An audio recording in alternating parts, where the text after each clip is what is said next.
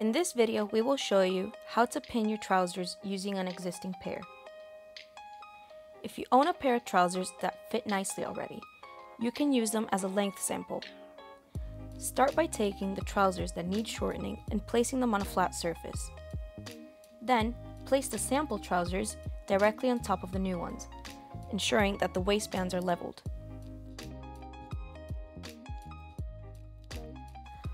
Once the trousers are lying flat on top of each other, you should be able to see a clear difference in length. At that point, you can begin pinning your hem to match the sample.